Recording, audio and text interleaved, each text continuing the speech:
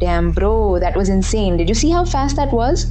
A cat's nervous system processes threats in 20 milliseconds. That's 10 times faster than humans can even see danger happening. Pure instinct, zero thinking. Here's what's crazy modern voice bots work exactly like this.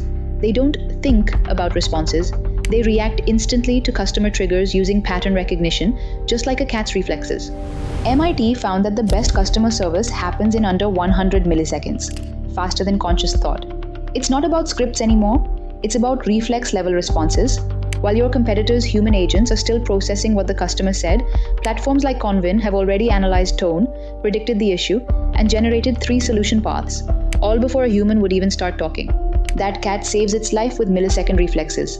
Your business saves customers the same way instant, instinctive, perfect responses every time. In nature and in business, the fastest reflexes win.